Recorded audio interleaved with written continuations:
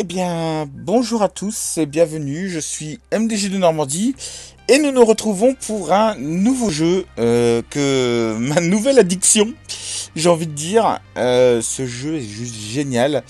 Euh, il n'a pas de musique, donc peut-être que je vous mettrai une petite musique d'ambiance au montage. Euh, qui va me prendre beaucoup de temps plus. Euh, je vais vous expliquer pourquoi après. Euh, Beat Burner, c'est le nom de ce jeu, Beat Burner. c'est c'est un jeu de hacking c'est un jeu de hacking où on code, où on... Donc moi j'adore, moi je, retrouve un peu mon, mon âme de pirate. Euh, c'est ça qui est assez, qui, est assez kiffant dans le jeu. Euh, j'ai déjà joué, euh, je crois que j'ai le... le, le,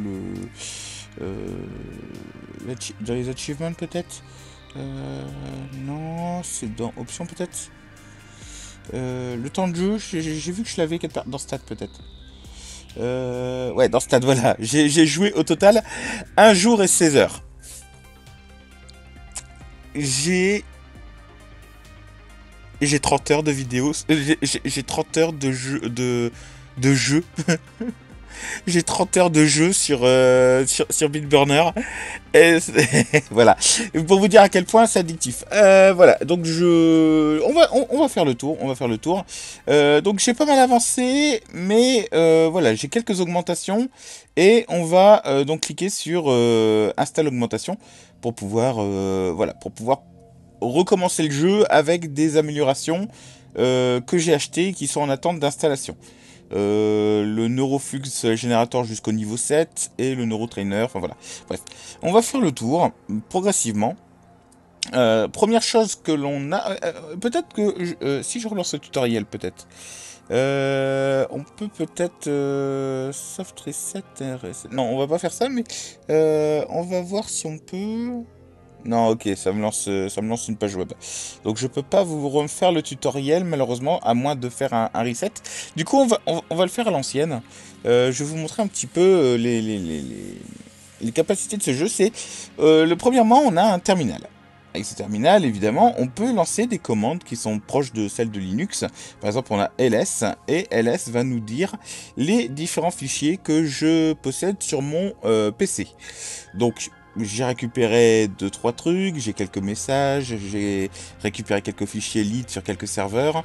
Euh, voilà. Il y a ces euh, exés là qui sont super importants, qui sont en fait des outils de hack. Euh, donc ils vont être extrêmement utiles. Au départ, vous ne commencez qu'avec nuke.exe. Vous n'avez que celui-là. Il permet de, prendre, de prendre possession de serveurs basse sécurité et euh, vous utilisez après ces serveurs-là pour euh, lancer d'autres attaques. Voilà, c'est le principe. C'est vous êtes dans une euh, vous êtes dans une ville. je ne sais pas précisément où on est dans la ville, mais en fait, quand on va, par exemple, pirater food, food, food stuff, euh, euh, quand on va refaire un scan euh, depuis ce serveur-là, on va accéder à d'autres nœuds du réseau. Donc il y a, alors voilà pour ceux qui, connaissent un petit peu, on va toucher un petit peu à la théorie des graphes dans ce, dans, ce jeu. la théorie des graphes, voilà, c'est mathématique. Hein, c'est, moi j'avais vu ça en BTS, en BTS informatique. Euh, et euh, je, replonge dedans en plus en ce moment euh, en dehors du jeu parce que bah, la théorie des graphes, les, parcours de graphes, ça fait partie aussi du domaine de l'intelligence artificielle sur lequel je m'auto-forme quand j'ai du temps libre. Donc voilà, je, m'intéresse un petit peu à l'IA depuis voilà depuis deux, petites années, trois petites années peut-être maintenant. et voilà, bref. Et donc euh, voilà, donc on a ça et évidemment si je lance donc un scan, un simple scan pour, commencer, euh, j'ai accès aux euh, différents serveurs qui sont accessibles depuis mon serveur à moi. Comme vous pouvez le voir, tous les serveurs avec un Y là, donc sur lequel j'ai l'accès route, ce sont des serveurs que j'ai piratés, dont j'ai le contrôle. Si je me connecte chez Josgun par exemple, donc je fais un connect Josgun. Voilà. Je me retrouve sur le serveur de Josgun. Sur le Josgun, euh, et là, je peux refaire un ls et je vois les, euh, les scripts qui sont installés chez euh, Josgun. Ce sont mes scripts. bon, ils sont, il y en a quelques-uns qui sont périmés. On verra les scripts que j'ai créés plus tard. On va les revoir. De toute façon, il faut que je les améliore. Donc, on, on verra ça ensemble. On verra le code un petit peu plus tard. Euh, voilà. Et si je lance euh, un scan depuis, euh, depuis Josgun, je retrouve mon home et je trouve un autre serveur qui n'était pas dans ma liste de départ. Voilà, ce qui fait que en accédant à certains serveurs, on arrive à d'autres serveurs. ça peut être aussi des cul-de-sac, hein. c'est tout à fait possible. mais voilà, on a ce genre de choses. Euh, donc ça, ok. Euh, donc voilà un petit peu ce qu'on va faire. Donc évidemment, quand on est sur un, serveur, euh, la première chose qu'on va essayer de faire, c'est faire un... on peut faire une analyse, par exemple. Je me suis trompé dans Ouais, c'est un Y. Voilà. Et je peux regarder un petit peu euh, ce que euh, le serveur a, ce que le serveur... Voilà. Euh, par exemple, je vois que, bon, j'ai l'accès route, ça je le sais. que je peux lancer des scripts. Résultat, je peux installer des scripts et les lancer sur ce serveur. je n'ai pas installé la backdoor, je peux le faire rapidement. Je peux faire un installer ma backdoor. Ça, ça prend une seconde. Euh, je peux hacker et le, skill minimum pour pouvoir hack et euh, ou placer une backdoor, c'est d'être niveau 10. Je suis niveau 208 en hack. Tout va bien. Euh, voilà, mais ça c'est un serveur de base. Hein. Ça c'est un des premiers serveurs qu'on fait tomber dans le, dans le jeu. tac tac tac. vous avez le niveau de sécurité plus il est élevé, plus le hack va être difficile. Euh, les chances de hack, donc vous savez, si, je lance un hack là, ça va, j'ai 90% de réussir. Euh, ça va me prendre 13 secondes à hacker. Euh, il, y a 1000 dollars sur, le, sur ce serveur, donc je l'ai rincé. Euh, et j'ai ouvert le port SSH apparemment sur ce serveur. Je n'ai pas ouvert le FTP alors que j'ai le euh, j'ai FTP crack euh, que j'ai que j'ai pu réussir à avoir. Du coup, je vais lancer le FTP crack. Voilà. Hop. Et donc là, si je refais un analyse, boum, on voit que maintenant le serveur FTP il est ouvert. Alors, à quoi ça sert de d'ouvrir les ports les ports euh, des serveurs? C'est parce que pour les serveurs qui sont de plus haute sécurité, vous avez cette ligne-là, required euh, number of open port for nuke. Pour utiliser votre nuke.exe sur certains serveurs, il va falloir que vous ouvrez certains ports. Et pour ouvrir les ports, il vous faut les, euh, les tools, donc les, programmes pirates, pour pouvoir ouvrir ces ports. Alors, rassurez-vous, hein, dans la vie réelle, c'est pas aussi simple de pirater des serveurs. Vous vous, en doutez bien. Les, points exe, là, c'est vraiment des raccourcis scénaristiques, des outils extrêmement automatisés, voilà, qui, permettent de pouvoir avancer dans le jeu, sinon il n'y aurait pas de jeu. Mais euh, voilà, donc euh, allez pas croire que c'est aussi facile que ça que de pirater des serveurs. Hein. C'est euh, voilà, c'est pour le jeu, il y a les raccourcis scénaristiques et c'est ces fameux points exe. Voilà.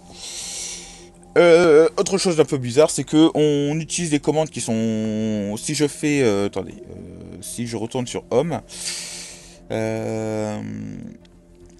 home, hop, que je fais un help pour obtenir toute la liste des commandes que je peux taper, euh, eh ben il y a des commandes qui sont à enfin, qui viennent à la fois de Linux et à la fois de, de MS-DOS, enfin de, du, CMD de Windows.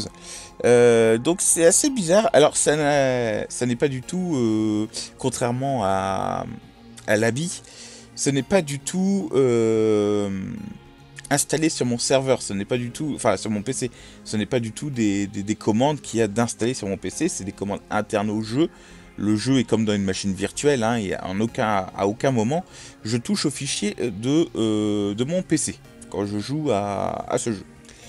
Euh, cependant, je peux quand même ouvrir un autre éditeur, le jeu me le permet, d'ouvrir un autre éditeur de, de code euh, pour pouvoir coder dans, le, dans le jeu. Bon, pour le moment je m'en passe, je me sers du, de l'IDE interne au jeu, et c'est très bien comme ça. Il est, il est bien, c'est on va voir ensemble, mais c'est un... Euh, c'est un clone un petit peu de Visual, Visual Studio Code. Ah, que j'affectionne pas trop. moi, je, je, code avec NetBeans dans, dans, dans, ma vie de développeur. Mais, euh, mais voilà, c'est Visual Studio Code, euh, voilà, c'est, c'est un des IDE les plus utilisés euh, par, par 80% des développeurs. Voilà, il y a quelques réfractaires comme moi qui utilisent toujours NetBeans ou qui utilisent... certains utilisent Notepad++, mais eux, ils, ont ils galèrent bien. Enfin bref. On va passer s'éterniser là-dessus. Euh, quand vous lancez un script, euh, hop, est-ce que j'ai des scripts? Euh, Là, j'ai des scripts de lancer. Euh, mais on va, par exemple, je vais, je vais arrêter mon script hack install, qu'on verra après. Mais si je fais un run hack install, donc ça c'est un script que moi j'ai créé. Euh, et je peux choisir de mettre en argument le nombre de threads sur lequel il va, euh, il va tourner. Et pour le coup, je mets 7 threads. Voilà. Et là, je lance, euh, je viens de lancer un script sur mon serveur qui tourne tout seul. Parce que il, boucle, voilà. Vu que je lance cette thread, il, il consomme l'intégralité de mes RAM. Et ici, donc, j'ai un programme qui tourne et qui est en train de faire un travail. Un travail bien précis que je lui ai demandé. Euh, voilà. On, et ici, j'ai son log. Donc, euh, j'ai vraiment le, terminal euh, de ce qui est en train de faire ce, petit, ce petit script. On verra ce qu'il fait après. Alors, les scripts que je vais vous montrer, ce sont les miens, ce sont ceux que j'ai développés euh, au cours des 30 dernières heures de jeu, là, euh, et encore que, je peux encore optimiser. Euh, mais on va, on, va voir ça tout à l'heure. Comme je vous dis. Tout ça, ce sont les serveurs sur lesquels j'ai accès. Et qui sont en train, enfin, et qui ont donc un, un programme Acron qui tourne euh, qui a été lancé sur, euh, sur ces serveurs-là. Et en fait, ces, ces serveurs-là, du coup, avec mon, mon, petit script que je vous montrerai encore une fois, il hein, n'y a pas de souci, euh, en fait, les serveurs sont en train de se pirater les uns les autres. Et à chaque fois qu'un hack passe, eh ben, j'ai mon XP en hack qui augmente tout seul. Donc, ici, ma progression en hack, elle est automatisée plus j'obtiens de, de tools de hack, donc euh, le prochain c'est, euh, je sais plus, c'est, je sais plus quel, euh, non, alors ça c'est le script, on, on, verra après, mais tac tac tac SSH, le SMTP, voilà, si le, si, j'ai le SMTP, le tool pour pouvoir hacker les, les SMTP, donc les serveurs de messagerie euh, je, pourrais pirater davantage de serveurs. Ce qui va augmenter ma liste dans les active scripts. Et euh, voilà. Alors ça, ça fait pas automatiquement. Hein. Le, truc, c'est vraiment, il faut le coder pour que les, serveurs puissent s'attaquer entre eux, euh, vérifier qu'une attaque s'est bien passée. Si ça s'est bien passé, est-ce qu'on fait une action? Si ça s'est mal passé, est-ce que voilà, est-ce qu'on fait une autre action? On, voilà, faut faut y regarder, faut, faut, réfléchir après, mais ça, c'est la partie code. Euh, tac, tac, tac, qu'est-ce qu'on a d'autre à voir? Ici, vous avez les create programmes. C'est là que vous allez pouvoir développer les, euh, les fameux tools, les fameux hack tools. Euh, c'est ici que vous développez ben, le, le, le, FTP crack, par exemple. là pour le coup c'est dans le jeu, du coup en fait quand vous avez les connaissances nécessaires en hack pour développer un programme, euh, vous avez un bouton hack, enfin vous avez un bouton euh, par exemple ftpcrack.exe qui s'affiche ici. Vous cliquez dessus et ça se met en progression. Et donc votre personnage, enfin votre, euh, voilà, vous dans le jeu quoi, programmez le, le hack tool. Bon. Voilà. donc ça c'est juste pour le hack. Donc vous avez le terminal, vous avez le script editor euh, pour créer des scripts, et vous avez donc les scripts qui sont actifs sur les serveurs et euh, la possibilité de créer des hack tools quand vous avez atteint certains checkpoints du jeu. Ça peut être beaucoup de choses, les checkpoints en question. Ça peut être euh, euh, pirater un serveur bien distinct. Ça peut être atteindre un certain niveau de hack, de force, de défense, de, dextérité, d'agilité, de charisme. Voilà, je les découvre. Euh, pour le moment, hein, je, je, me suis pas vraiment, je sais pas vraiment comment faire un speedrun du jeu, hein. c'est pas c'est pas, c'est pas le but non plus. Euh, voilà. Ensuite, on a notre personnage. Donc nous, en tant que hacker, donc on a des stats. Ça pas de souci. Hein. On a euh, euh Current City. Voilà, on a le, la ville dans laquelle on est actuellement. On est dans le secteur 12 apparemment.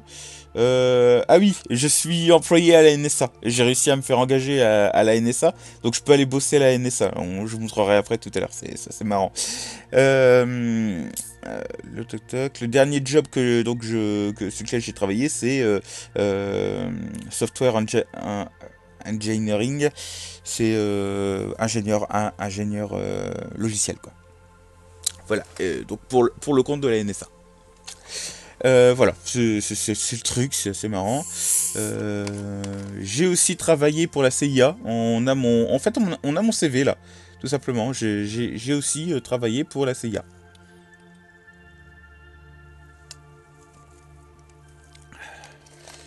Excusez-moi, je bois un petit coup. Ah, c'est assez dense, hein, c'est assez dense. Bon après on a les stats en fait qui, sont les mêmes stats qu'ici, mais on voilà, ils sont juste affichés. Et ici ce sont mes multipliers. Euh, pour le dès que vous commencez le jeu en fait, vous avez ces multipliers ces multipliers là, ces multiplicateurs là plutôt en français. Euh, vous êtes tout à 100%. Donc les hacking chances vont augmenter au fur et à mesure que vous allez faire comme moi, euh, acheter des augmentations et les installer. Et les coûts, parce qu'ici vous avez des, des coûts, eux vont baisser. Donc euh, voilà, vous avez, euh, vous avez cette notion là. Et puis après, bon bah le, nombre de serveurs possédés et le nombre de serveurs, enfin le nombre de serveurs et de hacknet. Ouais. Donc les hacknet, voilà, j'ai actuellement, euh, je contrôle actuellement 15 serveurs apparemment. Je sais pas pourquoi lui je sais pas pourquoi il me dit 15 serveurs alors que... Euh, j'en ai 16. Parce qu'il y a le home évidemment qui est, à moi. Mais le j'ai 16 serveurs. Bon, je ne sais pas pourquoi il... Il a... Il devrait m'afficher 16 ici. Euh, les augmentations installées pour moi je suis toujours à 0. J'en ai 8 à installer. Ça, on verra ça après. Au fur et à mesure du jeu, vous allez découvrir des factions. Pour le moment, voici les quatre factions que j'ai découvertes. Euh, Netburner, ils apparaissent quand vous atteignez le niveau 50, je crois, un truc comme ça. Euh, donc c'est les premiers que vous rencontrez généralement. Euh, et voilà quoi. Donc, donc ce sont c'est un groupe de hackers en fait, hein, tout simplement. vous pouvez choisir de faire des contrats de hack pour eux. Ça ne rapporte pas d'argent, mais ça rapporte de la réputation. Euh, où vous pouvez acheter les, fameux, euh, les, fameux les fameuses augmentations. À chaque fois que vous achetez une augmentation, ça augmente le prix des autres. Donc méfiez-vous, si vous achetez le, plus bas niveau, euh, comme moi, quoi, eh ben, les, autres vont augmenter aussi. Donc voilà, il faut, faire, faire, un peu attention à ça. les augmentations, on va voir après, ça, on va finir par ça. Ensuite, il y a les hacks. Donc, euh, pour le moment, c'est très dense. Hein. Je vous montre un petit peu toutes les fenêtres du jeu. Mais après, au fur et à mesure du jeu, on va voir chaque chose et on, verra. Ici, on peut acheter des Hacknet Nodes. Ah bah non, c'est ça mes 15 euh, Hacknet Nodes, je suis bête. Euh, donc, mais voilà, je peux acheter des Hacknet Nodes. c'est des serveurs zombies, on va dire ça comme ça. Et pour faire simple, là-dedans, on, bon, ici, c'est expliqué rapidement que en fait, vous achetez des serveurs et vous les louez à d'autres hackers pour euh, que eux fassent des activités illégales et, euh, et ça vous rapporte de l'argent de louer ces serveurs. En dehors de ça, nous, on va dire que c'est plutôt euh, notre ferme de crypto-monnaie. parce que je pense que euh, c'est plus moderne de dire ça comme ça. Euh, et ça ressemble beaucoup à ça, en fait. par exemple, est-ce que je peux upgrade? Voilà, donc j'ai acheté 15 serveurs, donc numérotés de 0 à 14. Et je peux augmenter donc leur level. la RAM, je peux aller jusqu'à 64 Go max, donc ils sont tous au max. Euh, et je peux euh, notamment aller améliorer quelques cœurs de processeur, mais ça me coûte du pognon, bien évidemment. Mais par contre, c'est ce qui rapporte le plus d'argent. Ça me rapporte 48 000 euh, par seconde, donc voilà, ça, ça augmente bien, j'ai envie de dire. Donc le hacknet essentiel pour pouvoir avoir une rente dans le jeu et pouvoir progresser euh, même en étant hors ligne du jeu parce que ce jeu est un idle game. Ensuite, comme je vous ai dit, on a le world, donc on a la cité, euh, enfin on a la, ville dans laquelle on est. Euh, le U, c'est l'université. C'est là qu'on va pouvoir prendre quelques cours pour pouvoir augmenter encore son hacking un peu plus vite. Ça coûte de l'argent, bien évidemment, sachant qu'il y a des cours gratuits. Et il y a le management et le leadership qui permettent d'augmenter le charisme si vous cherchiez où augmenter le charisme, c'est l'université, c'est management et leadership. Comment ça se présente hein, Simplement, si vous cliquez dessus, bah, vous avez votre argent qui est utilisé et vous euh, obtenez vos points et on peut voir légèrement euh, voilà, l'XP monter. Voilà, simplement. Quand on est euh, en travail comme ça, on a cette fenêtre grise. On peut faire Do Something Else Simultaneously. Et la tâche se met ici en fait on peut continuer à jouer. Ce qui fait qu'on peut soit travailler, soit étudier, soit euh, être en train de développer quelque chose à côté. Le, quand on fait un crier de programme, euh, ça peut se mettre ici sur le côté et on peut faire autre chose. Et notamment développer nos propres programmes, nous, euh, joueurs. Quoi. Bon, là je vais arrêter le, script, hein, vous avez vu, voilà, j'augmente un petit peu en charisme. voilà, c'est sympa. Mais je peux voyager à travers le monde. Actuellement, on est dans le secteur 12, ce qui correspond apparemment à peu près à... On est où là euh, Peut-être... Euh... euh Oklahoma City, peut-être? New York, c'est un peu plus euh, à l'ouest. Donc je pense que c'est Oklahoma City. Enfin bref. Voilà, on peut aller en, Suède ou Norvège, je sais pas trop. Euh, Volaven. Euh, on, bah, je suis bête. Euh, bah non, c'est marqué euh, secteur, secteur 12 quand on mais... on peut aller à, Chong, à Chongqing. on peut aller à Tokyo, le nouveau Tokyo. on peut aller à Ishima et on peut aller à Aevum. Voilà. on n'est pas obligé d'aller dans ces villes-là pour pouvoir en pirater les serveurs. Euh, les, villes sont interconnectées comme sur euh, le, vrai internet et du coup euh, en fait quand on est dans le secteur 12 on a accès à tous les serveurs pour peu qu'on explore les nœuds de réseau. Là j'ai cet onglet là job parce que ben, j'ai un emploi donc de, à la NSA euh, voilà. Donc on a aussi une réputation auprès des compagnies. Euh, je peux changer de boulot au sein de cette compagnie, demander un autre poste. Euh, le, software job, c'est ce qui rapporte le plus, je crois. de toute façon, les autres, je suis pas qualifié. Peut-être que le security, voilà, ça, rapporte un peu plus, mais... Et euh, je peux travailler quand je veux. Et là, pareil, là, je gagne de l'argent. je gagne en réputation auprès de la compagnie et je gagne encore un peu d'expérience de hacking et également du charisme. Voilà, parce que la NSA c'est charismatique, voilà, on s'en fout. Hop, voilà un petit résumé quand on arrête le job. Ensuite, on a le millstone. Le millstone, c'est juste des petits indices sur ce qu'il faut faire. Donc là, il me demande d'installer de, des, augmentations de, cybersec, donc qui est, un, qui est une faction. Euh, le tutoriel, voilà, qu'on fait au début du jeu. Et on a les achievements. Pour le moment, je suis à 10 sur 96. Et puis, il y a quelques options. Euh, juste un truc, le script exe, là, euh, vous, le, vous le mettez au minimum pour que le jeu aille plus vite. Parce que sinon, c'est un enfer. Euh, vous pouvez forcer l'arrêt de, tous les, tous les scripts ici. Euh, le bouton existe aussi ici en fait. Et ça recharge le jeu. Euh, voilà. Après, on, s'en fiche un petit peu. vous pouvez aussi régler les sauvegardes automatiques du jeu.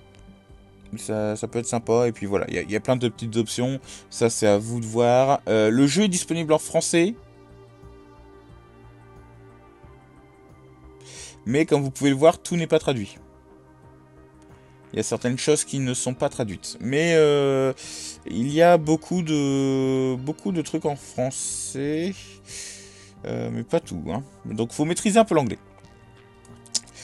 Euh,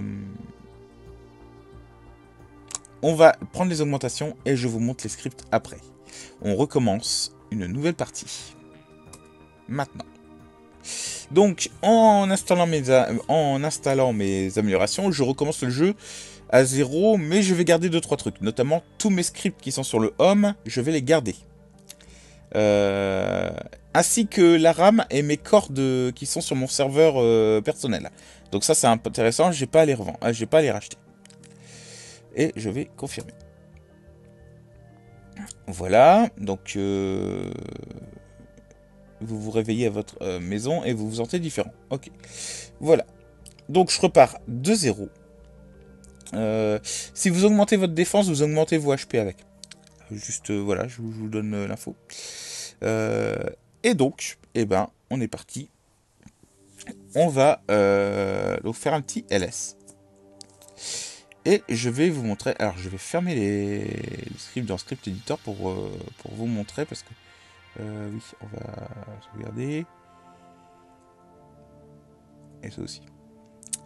Du coup, on va euh, cliquer sur Hack Install. C'est le premier script qu'on va lancer. Euh, cette fonction-là, cette fonction-là, elle vient d'Internet. Elle vient de, du site locutus.io. ça me permet d'avoir une fonction in-array comme en PHP, mais en JavaScript tous les codes que vous allez taper sont en JavaScript. Voilà, il faut, le savoir. Euh, si vous voulez créer un nouveau script, vous tapez nano. Le nom de votre script. Point script.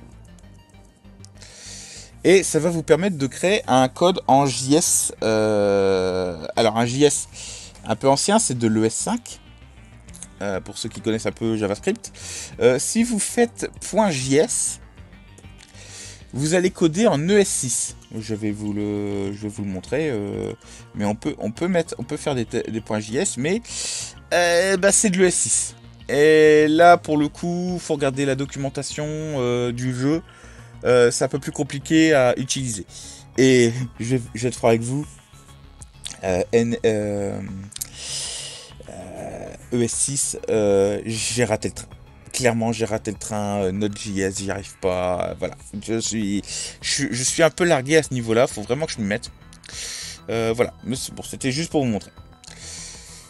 En tout cas, on va lancer donc Hack Install. Je suis désolé, peut-être que j'ai un peu vite. Hein. je, suis, je suis désolé, mais voilà.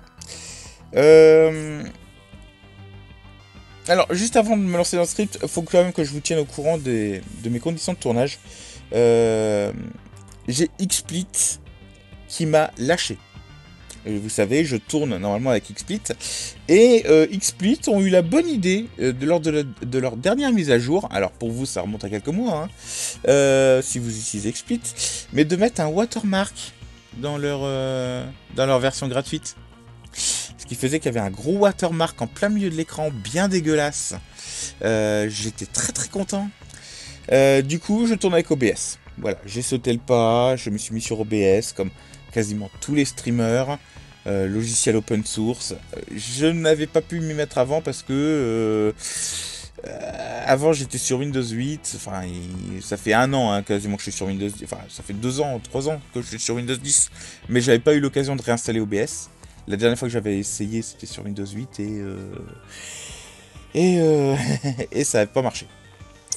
Du coup, euh, voilà, maintenant que je suis sur Windows 10, il n'y a pas de souci, OBS fonctionne. du coup, je disais, on reprend. cette fonction-là vient du site locutus.io sur internet, donc ça me permet d'avoir un inArray, la fonction PHP en fait inArray, mais en JavaScript. J'ai une fonction rootIt que j'ai créée euh, elle est relativement simple. Euh, je passe un target. Le target, c'est le nom euh, d'un serveur que je voudrais pirater. Voilà, donc j'ai des scripts automatisés, il hein, n'y a pas de souci. Mais dites-vous que par exemple, à la place de target, c'est Jogen, par exemple. Jogens, le, serveur Jogens. Euh, je vérifie si sur cette cible, donc on va appeler ça la cible, hein, du coup, euh, si j'ai euh, si, si je n'ai pas les droits d'accès, enfin si je n'ai pas l'accès route, dans ce cas, je vais lancer mon attaque. Donc, je vais définir une variable port à 0. Ah, c'est bizarre, elle devrait être... C'est bizarre qu'il gueule pas parce qu'elle n'est pas censée être définie du coup. Euh, je corrige, du coup. Euh, voilà. Et je vais euh, tenter de, faire toutes les attaques possibles. Ceux-ci sont les, les 5 tool hacks qui sont disponibles dans le jeu. Euh, le brut SSH, le FTP crack, le relais SMTP, le HTTP worm et le SQL inject. Donc simplement, à chaque fois, je vérifie si je possède euh, ce, tool euh, sur mon serveur home, alors je tente un brut SSH sur ma cible. Et j'augmente mon port de 1. Je fais la même chose avec FTP crack. Si je possède le tool, alors je lance un FTP crack sur ma cible. Et j'augmente de 1, euh, voilà, j'incrémente port de 1. Tac, tac, tac, tac, tac, jusqu'à SQL inject, pas de souci. Et ici, je fais un, petit truc. J'ai cette fonction get. Ça, ça me retourne euh, le nombre de ports nécessaires pour hacker la cible. Admettons que ce résultat me renvoie par exemple 1 et que euh, mes ports là, j'ai réussi à ouvrir deux ports, et eh ben je peux essayer de hacker, enfin d'obtenir l'accès route sur le serveur, sur ma cible.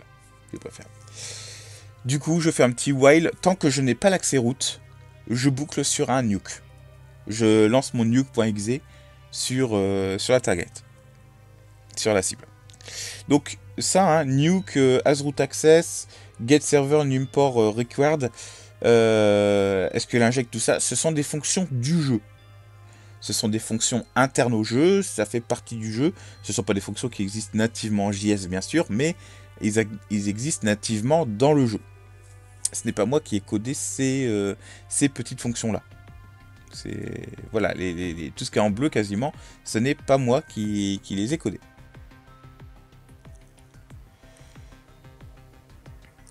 Ensuite, j'ai une autre fonction warm hit. Euh, cette fonction, donc on est d'accord, hein, donc root hit, ça me permet en fait de, de quand j'ai une cible, de pouvoir la essayer de la pirater, essayer d'en prendre le contrôle. Une fois que j'ai le contrôle, je lance une fonction warm hit. Alors pour le moment, je, je déclare la fonction, je vous explique juste euh, ce qu'elle fait. Donc je revérifie juste si j'ai le root access. Donc si j'ai l'accès route en fait, et que ma cible n'est pas moi-même. Bah ouais, ça serait con quand même. Euh, du coup, euh, là ça par contre je peux l'améliorer. Donc je vais faire tout de suite. Il me suffit de faire ça. Et donc j'enlève une accolade en trop. Je clique sur Beautify. Beautify. Et euh, par contre, ça m'a. Pourquoi ça m'a supprimé euh, Attendez, hop. Ok. Euh, donc voilà, donc je peux factoriser un petit peu ce truc là. Donc si j'ai l'accès route et que ma target n'est pas homme, alors dans ce cas je vais envoyer le, le script euh, hackrun.script sur ma cible. C'est-à-dire que le, je vais envoyer ce, script-là, qu'on va voir après, euh, sur ma cible. Je vérifie si mon script est déjà en train de tourner sur le, serveur distant. S'il est déjà euh, comment S'il est déjà en train de tourner, on, va skipper. On, arrête la fonction. Admettons que le script ne tourne pas, hein, c'est un serveur fraîchement euh, piraté. Il a et on lui envoie le script. Euh, du coup, euh, ici ça va retourner false, donc le script n'est pas lancé. On va faire ce petit calcul pour savoir combien le serveur a de mémoire RAM de disponible. La cible, si vous voulez. Combien la cible a de serveur RAM de disponible. Euh, et on va faire une division par 4.5. Pourquoi 4.5 Parce que c'est la taille que prend mon script actuellement quand j'utilise euh, une, euh, une fonction, euh, ça va me demander des RAM supplémentaires. Si je fais par exemple... Qu'est-ce que je n'ai pas là Qu'est-ce que je n'utilise pas Si je fais un... Hmm, si je lance par exemple un hack. Hop. Voilà. Si j'utilise la fonction hack, vous avez vu que ma quantité de RAM a augmenté. Donc quand vous utilisez des fonctions du jeu dans le script, ça vous consomme de la consommation de RAM. Alors c'est un peu abusé hein, le truc, mais euh, ça, ça va être super important parce qu'il y a des serveurs qui font par exemple moins de 4 Go de RAM, enfin qui font 4 Go ou moins. Euh, par conséquent, ils ne seront pas capables de lancer votre, euh, bah, votre, votre script. Donc ça, c'est à tenir en compte il va falloir que vous ayez le code le plus optimisé possible avec le moins de fonctions possible pour qu'il soit les plus légers. Et après, euh, voilà, après vous lancez vos attaques. Donc j'ai ce script là install qui est qui fait 4,45 Go de mémoire RAM. Euh, bref, on reprend. Donc, euh, donc voilà, donc je fais ce petit calcul pour avoir la quantité de RAM disponible. Je fais une division par 4.5 qui correspond à peu près à, ma, consommation du script. D'accord, ah, je crois que, je crois que j'ai fait une bourde en fait. Euh, ok, je crois, que, je, crois que je me suis planté. Faut que. Va falloir modifier ce chiffre. Il est pas bon. Euh, ça me donne le nombre de trades que je peux lancer. Et si ce nombre de trades est supérieur à 0, sinon ça fait planter le jeu. Donc euh, lancez pas un script avec 0 trade. Ça fait planter le jeu. C'est. Voilà, ne, le faites pas. Et je lance un exec du script sur ma cible avec le nombre de trades que j'ai déterminé plus haut. Voilà. Et donc en fait, là ce que j'ai fait, c'est j'ai envoyé un virus sur un serveur qui va tenter des piratages sur les autres serveurs aux alentours, sauf moi. On va voir ça.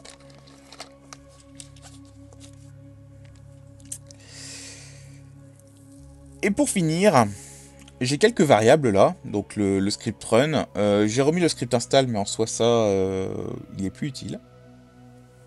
Tac.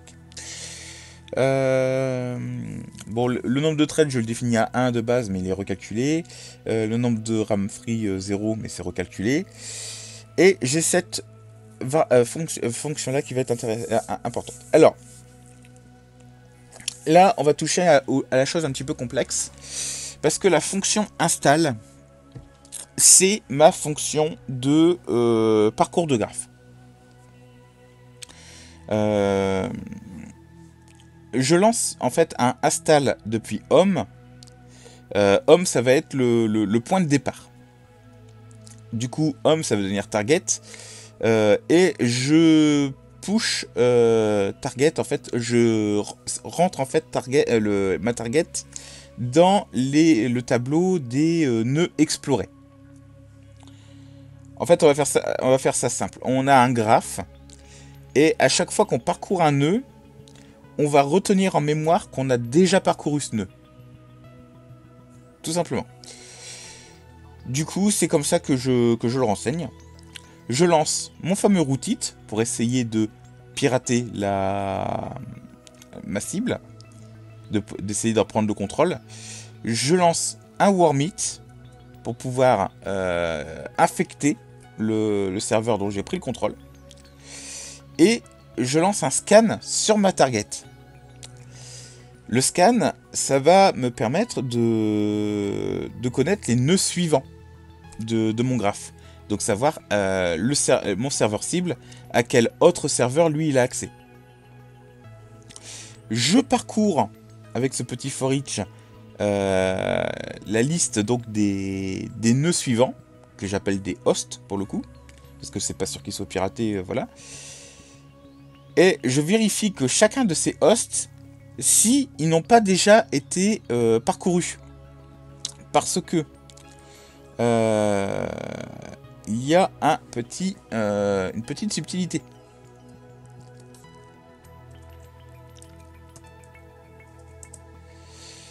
Si je scanne et que donc je me connecte à euh, Joe à Joe's Gun que je refais un scan. Euh, d'accord, donc j'ai accès par exemple à, 0. Euh, donc je me connecte à 0.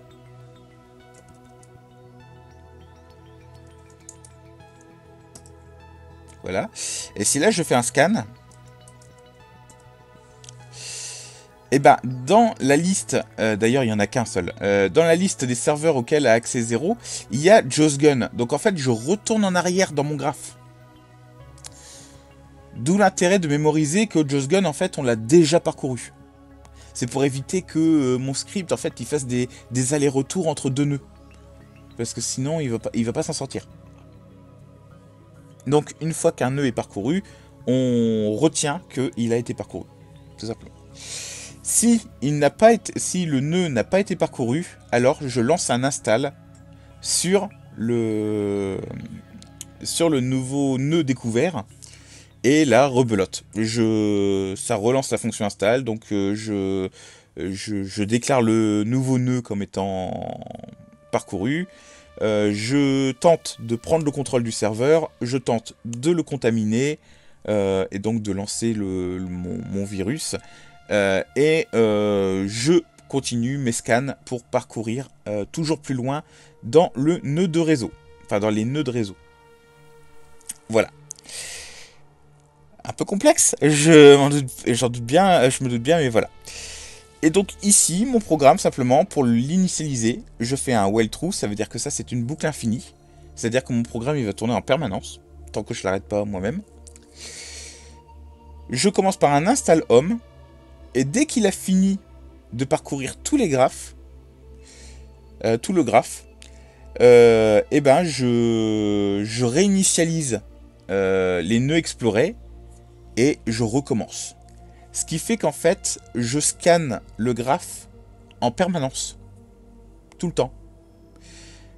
pour si jamais dans le jeu arrivait un moment, si je débloque un nouveau hack tool, j'ai pas besoin de fermer mon script et de le relancer. Le, mon, le hack tool va être appliqué directement, vu que euh, je l'ai déjà renseigné dans mon code. Admettons que là, euh, je vais lancer le, script hein, euh, tout à l'heure. on va donc je vais commencer à pirater quelques serveurs de bas niveau. Dès que je vais obtenir le brut SSH, j'aurai pas relancé le script hack install, pour commencer à pirater les, les, serveurs qui ont besoin de un port ouvert. Voilà, tout simplement. Alors c'est un peu technique, hein, euh, voilà, on vient de parcourir 83 lignes de code. J'espère ne pas avoir perdu trop de monde. Euh, je mais euh, en soi voilà et en plus euh, si vous êtes débutant en informatique je vais être franc avec vous le JavaScript c'est pas le langage avec lequel je vous recommande de commencer le JavaScript c'est un langage qui est en réalité qui peut très vite devenir obscur pourquoi? Parce que vous avez ce genre de choses vous avez des fonctions qui prennent en paramètre des fonctions. C'est ce qu'on appelle des callbacks. Et ça, euh, ça c'est historique. Hein. Dans, dans, JS, ça a toujours existé. Mais c'est une horreur. C'est, euh, ça complexifie le code, ça l'obscurcit. Donc, si vous êtes débutant en informatique, le JavaScript n'est pas le premier langage de programmation que je vous recommande. Vous pouvez, il y a d'autres langages de programmation qui peuvent être très bien, le Lua par exemple, qui est, très bien pour débuter. Euh, un langage qui peut très bien s'adresser aussi bien aux débutants qu'aux experts, d'après moi, c'est PHP. PHP, il peut très bien s'adresser aux débutants, comme euh, on peut faire des trucs euh, extrêmement poussés avec, quand on le maîtrise très bien. Euh, moi, c'est mon langage de prédilection PHP. Hein. C'est pour ça que je suis un peu, voilà, que je fais un peu de prosélytisme sur PHP, vous avouerez. Mais bon, voilà.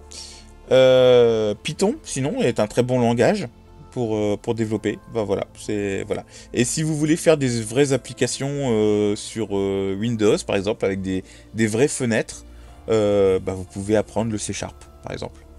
Vous lancez Visual Studio, vous téléchargez, vous installez Visual Studio Code et vous faites du C Sharp euh, très vite, vous allez pouvoir euh, créer euh, vos, applications avec vos petites, vos petites fenêtres. Ça marche très bien, c'est très simple. Enfin voilà, enfin, c'est très simple. Faut apprendre à coder quoi. Mais, mais en soi, c'est c'est plus facile à prendre en main. Le C Sharp c'est déjà un peu plus chaud, mais ça peut se prendre en main assez rapidement. Le JS, comparé à le JS, je trouve que le JS est beaucoup plus obscur que le C Sharp, par exemple. Bon, enfin bref. On va voir rapidement, euh, c'est mon fameux euh, virus du coup, le Hackrun.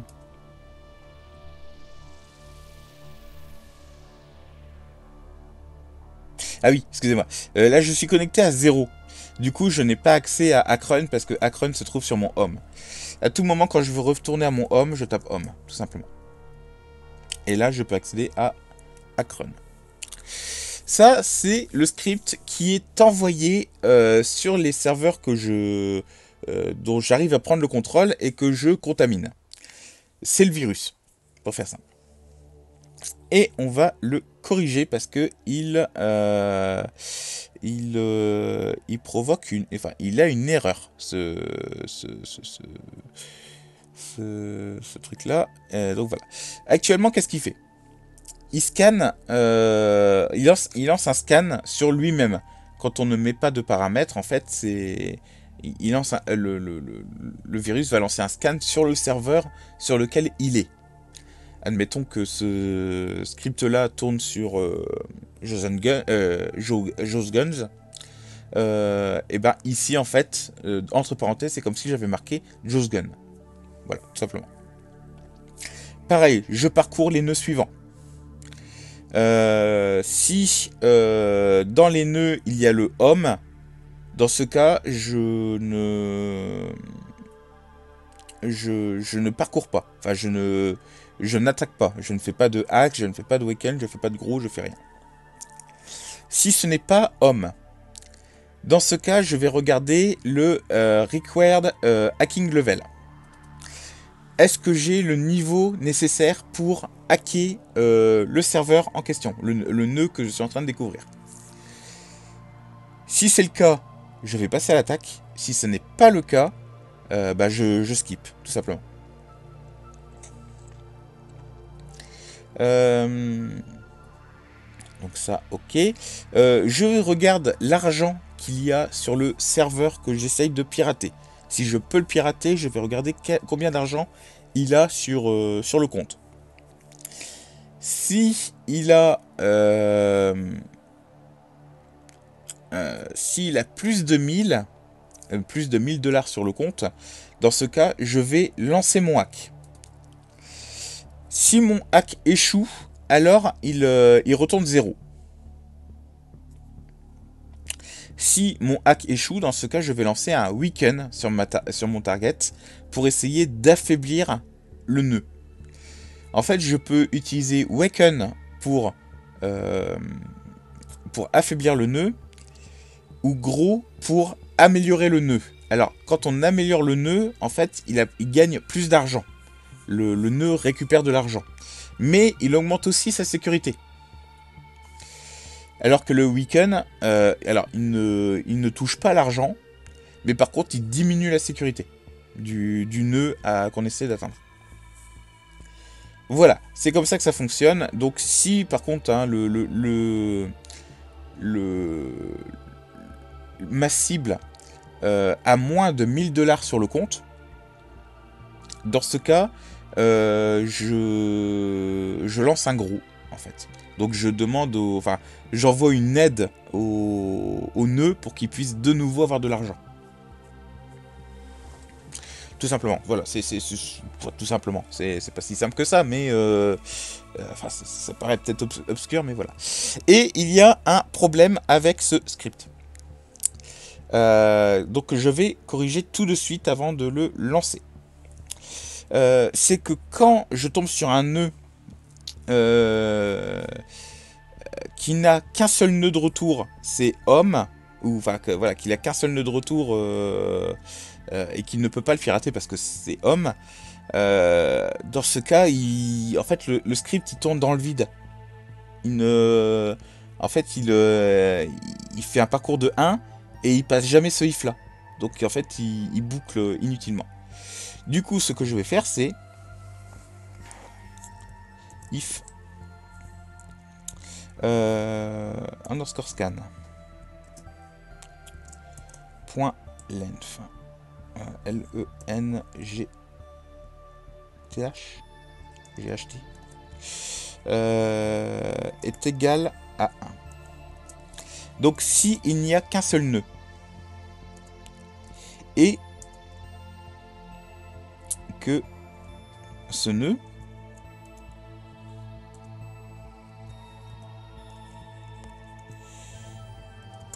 c'est égal à homme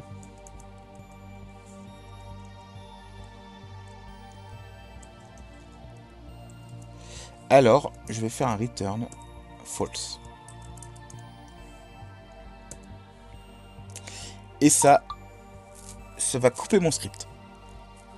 Tout simplement. Pourquoi Parce que euh, comme mon script là, mon, main, comme vous pouvez le voir, à la fin, quand il a fini euh, de parcourir ses scans, il lance un trou. Ce trou, il va être récupéré par le while qui est ici, le tant que. En fait, tant que mon main retourne trou, il va l'exécuter. C'est ce que fait mon, mon while main ici. C'est en fait, il va, il va répéter main en boucle, en boucle, en boucle.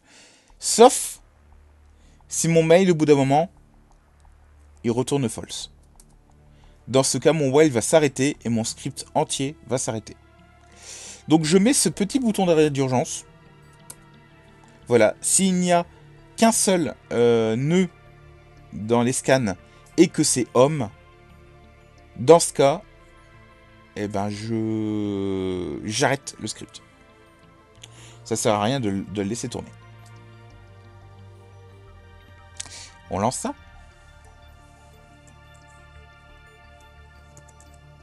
Donc actuellement, dans mes ActiveScript, j'ai rien qui tourne. J'ai aucun serveur de piraté, j'ai rien du tout. Hein.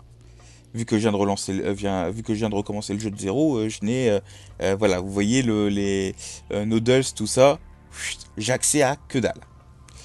Et eh ben je vais lancer mon petit hack. Mon hack install. Voilà. Et donc là, et eh ben j'ai mon script qui commence à attaquer et je vois que j'ai déjà euh, obtenu du coup Nectar, enfin, Nectarnet.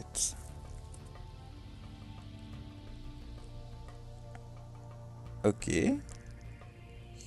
Et Nectarnet possède trois connexions. Donc il y a euh, son nœud d'avant, qui est Nodal visiblement, et il a deux nœuds qui le suivent. Du coup, voilà, donc il va, euh, il va hacker les, nœuds qui sont proches de lui, euh, tout seul, comme un grand. Bon. Et encore, on pourrait encore améliorer. Euh, on pourrait encore améliorer. voilà, comme vous pouvez le voir là, par exemple, mon hack a, failed. Il a, on, a, on a tenté un hack qui a échoué. Du coup, vu qu'il a échoué, on exécute un waken le script exécute tout seul un Waken pour affaiblir le nœud. Et comme ça, la prochaine tentative d'attaque, eh ben, on verra si ça a été suffisamment affaibli. Si ça n'a pas été suffisamment affaibli, ben, on refait un Waken. Et en fait, on va faire des Waken tant que le, hack ne passe pas. Quand le hack passe, eh ben, c'est réglé.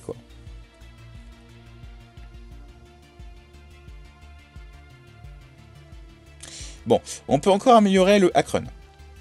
Honnêtement, on peut encore l'améliorer. Mais en tout cas, voilà, on va, on va laisser un petit peu ça euh, tourner. On va regarder dans les créés de programme si on peut rien faire. Euh, d'accord, ma liste de factions a aussi été effacée. Bon.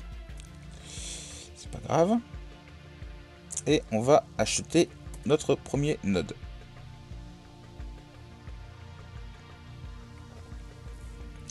Comme ça, on a euh, un début de rentrée d'argent.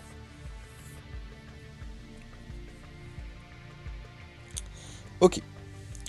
Alors, j'aimerais modifier ce, script. Euh, je réfléchis.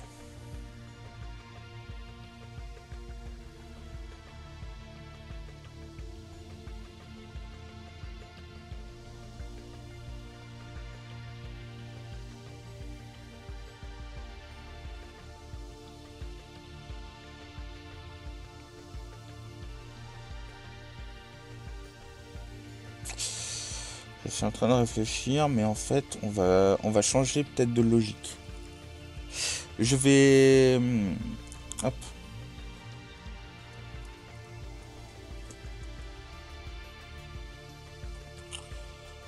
On va le coder ici. Pour le moment, je l'appelle main2, je remplacerai la fonction après. Euh, mais on va faire un petit peu de code ensemble. J'ai envie d'améliorer ce petit truc là.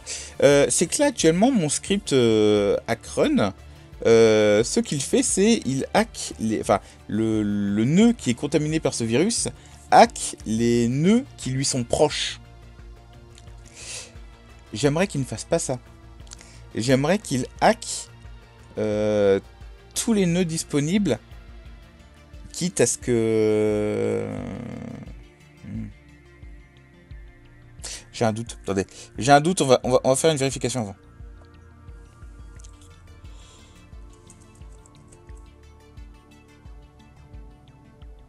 Ok, donc par exemple, vous voyez, j'ai plein de trucs. Si je me connecte à Iron Gym,